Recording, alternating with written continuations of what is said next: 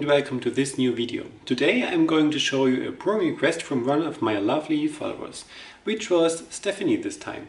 And she requested me to make a pour with a black and gold and add a fleur-de-lis onto it. So I'm going to show you how I made it and let's discuss the end result in the very end. So I hope you have fun watching and see you later. Of course, I want to make my life as easy as humanly possible, and so I searched for the design of the fleur-de-lis that I wanted to have here, and was just about to prepare a stencil. Therefore I used a very thin kind of paper, grabbed a graphite pencil and just draw the outlines on the paper. This is quite easy and you can flip it around and bring your drawn outlines to your stencil paper and this is just some kind of cardboard that I used. Once the outlines are transcribed there, just use a cutting knife and yeah, just cut the outlines. And so I got a stencil and a negative form of it. There is of course no need to use a stencil if you like to freehand everything or draw it each time on each of the canvases that you're going to create. Feel free to do so. I just wanted to save some time and therefore made the stencil. If you only plan to do one project and you want to freehand it, there is nothing bad about it. It's probably even better than using a stencil. But in this case here, I wanted to have it looking exactly the same on each one of them. So this seemed to be the most reasonable idea to do for me. Once the initial steps were done, it was time to prepare my canvases. Meaning just putting some pinboard pins on the underside of the canvas, just to have them elevated and all that drip of paint can really drip off. and then it was about the color mixing. I knew the color palette that I'm going to need because it was the requested one, which was a gold and a black. But I thought only the gold and black might not really show that good, because the black is really dark and the gold is not drying completely opaque. So I decided to add a little bit of my phthalo blue into it and some bits of white. So I started mixing my colors. I used my Artina acrylics, some Floetrol, some water and some drops of silicone, as you all know the recipe. and once this was done, I just started the pours. It was nothing really fancy. For the first two attempts, I left my colors without the silicone just to create some kind of marble effect in the end and not have cells or not as many cells after all. And for the last two I tried to add silicone into it and made the same technique pours, just a dirty pour, but I torched it afterwards to receive some cells. It went better than I expected and I got more cells than I initially thought. And for the time being I was really fine with it. I just wanted to see how it looks when tried, if it was too yeah, too busy or if it was disturbing in the overall look. So let's see what, what happens when it's dry. As those pours were pretty small, it's only 20 by 20 centimeter, it did not really take that long to dry. I think it was until the next morning, so about 10 hours or so. I wanted to have it everything completely dried, not smudge anything afterwards. But anyways, I just had to figure out in which position I want to yeah, add the fleur-de-lis in the very end. Of course it was meant to be in the center, but as these are square canvases, you can yeah, tilt them in any direction. So I just had a look which direction I like it the most. Then I used my techniques that I wanted to show you, and which I wanted to test myself, of course. For the very first technique, it was, I think, the most simple one. I just used the negative form of the stencil and used my mica gold flakes, applied the stencil on my canvas and, yeah, applied the mica flakes over it. Just make sure that you press the stencil onto your canvas thoroughly so that nothing of the mica flakes or the paint that you're going to use is going to flow underneath of the stencil. If it does, you can correct it afterwards, but the lesser paint flows under it, the easier it gets in the very end. So this is just applying everything on the negative form of the stencil. I used one of my smallest palette knives and just applied it onto it. Once this was done, I carefully removed my stencil and I had the fleur-de-lis on my artwork.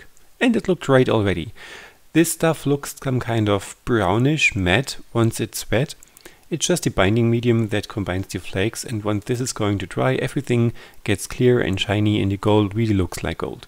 And as this technique worked super great I decided to use it for the second canvas as well. But for this one I did not use the mica flakes. Here I used my crackling gold paint which really is an awesome paint. I made a kind of thick amount onto it. So the thing with this paint is the thinner the layer is that you're going to create, the more cracks you're going to have. And I did not want to have it cracked too much, so I applied a thicker coat of the paint and thought this might crack fewer but larger cracks, which really happened in the end, which was great. So this was the reason why I applied a thicker coat. If you want to have many small cracks, just use a thinner coat of the paint. And there's nothing that you have to do with the paint to create these cracks, it just does it naturally once it's drying, so you just have to wait and see what, what it makes. The only negative of the crackling gold paint is that the gold is not really looking that gold. It looks like a dirty old gold, so like there is some oxidation going on already. So I just grabbed a, a lighter gold color and applied it over it, just to have it more shiny in the end. As for the third technique, I wanted to try something which I did before on larger paintings just to cover up the outlines and I wasn't really sure if this is going to work that great for this project, but I wanted to see if it works, and if it works, you have something that you can do yourselves. And this was using masking fluid. If you do not know what masking fluid is, it is usually used for yeah, liquid paintings, so not like acrylic pouring, but more like watercolor. So this is some kind of liquid that you can apply to your paper. It dries quite quickly and is a gum-like texture in the very end and you can lift it off and remove it from the artwork afterwards. So if there is an area that you want to protect from the watercolor, you can just apply it there and make your painting with the watercolor or color in general.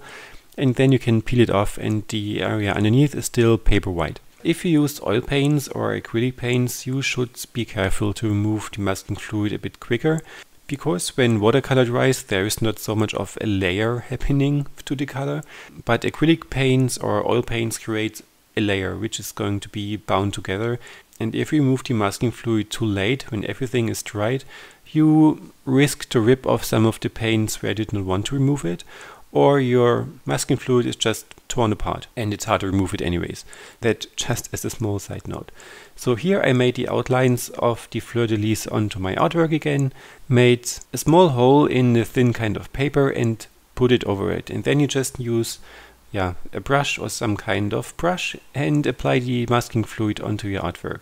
I tried to cover all the connecting areas from the paper to the canvas so that none of the paint can flow underwards in the very end. You can actually use as many layers as you want. Don't use too little because otherwise it doesn't have the cohesion to stick together and you cannot really remove it as great as you like. So I usually use two or three layers depending on the size of the artwork. As this had to dry for a bit, I continued with the third version and as this masking fluid version was really time consuming, so nothing I would recommend if you have other solutions. I used method number one again for the third canvas. And there I went a bit crazy with the colors and just used all of the colors that I've used before. So my crackling gold, my mica paints, my crackling red, and applied it all at once. Which I did not know if it was a good idea in the end, and it's up to you to decide, of course. But I really was not sure about the background anyways, because this dried quite well, energetic. so there's much happening on this artwork and it looks a bit disturbing in regards of something applied over it. We, we will see. Just let me know what you think in the very end. But coming for my masking fluid version, here I wanted to try a regular dirty pour. So I just used the gold and white paint that I already had mixed and put it onto it, hoped for the best and removed the paper which was in a way glued together with the masking fluid. So everything was torn apart at once. Everything looked quite nice in the very end, but I just realized it was too much of the paint. So the paint was flowing around a bit. I had to correct things on the go when it was drying every now and then to get back my shape of the fleur-de-lis, which was a bit time consuming as well. It worked pretty easy of course, but yeah, it was more time consuming than all the other canvases altogether, so it's not my preferred version after all. It looked kind of nice, but compared to the other kind of paints, it also looked a bit flat because it was just acrylic paint onto it, so there was no structure, and I really liked the effect of the structure that it had. But after all, it was really fun to do. I had a great time with it. I figured out that it's better to have a more muted background to make your embellishment to, to stand more out, which will look cooler in the very end instead of having a very busy background because this in a way distracts from your embellishment. So thank you again for your request, it was really fun to make. If you want to see something that you have on your mind and want me to try out, just let me know in the comments as usual. You do know I have a list of things that are requested from my followers that I put down there and yeah, work from it every now and then when I have some time in between. And now let's discuss the end results which I filmed live again. So here we are again. You have seen me made those. What do you think of it? This is the this this is the first one. It's varnished as you've seen and probably one of the two of my favorites. I really love how this one turned out. I like the smooth background and I also love the effect that the cracking paint created on the fleur-de-lis. So what do you think? Second one, which is also one of my favorites from this series, is this one. I also love the background and I love this mica gold flake paint. I really like the effect. I like that it's really gold looking and it's shiny. Third from it was this one, which was actually a real pour onto it, which looks quite nice, but it's on my it's my third favorite one, I guess. And last but not least is this one where I combined, well, most of the effects in this one. I like the fleur-de-lis though. It looks a bit old and rusty and used, so a vintage look perhaps. But I would say the background is not my really favorite. Well, I think the background is not calm enough for the entire look of the piece. But still, it's kind of pretty, isn't it? I think I still like it.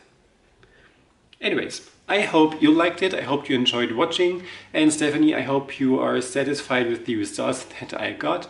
If you try this on your own, please make sure to tag me on Instagram or Facebook or let me know wherever you have posted, just yeah, that I can see it and have a look. Um, if you like this video, please give me a thumbs up and even better, subscribe to my channel to not miss out any of my coming videos. And of course also have a look at all the videos that I already uploaded here. As usual all the products that I'm using are listed below in the video description. And other than that, I wish you a great day. bye bye.